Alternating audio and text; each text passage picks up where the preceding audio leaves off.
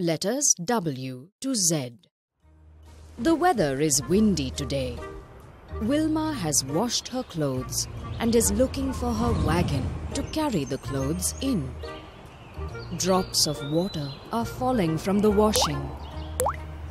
She finds a box in the garden. She opens the box and looks inside. We have an axe, a toy called Rex, six hats, and an x ray. She said, looking at the contents. There is another box inside. She says. Wilma finds a yo yo and a yacht in the other box. A yak walked by, and Wilma's dog, Yana, gave a loud yelp. Wilma laughed out loud. Zack, her friend, was off to the zoo. Would you like to come along? He asked. We'll take the zigzag road. Wilma picked up her bag that has a zipper.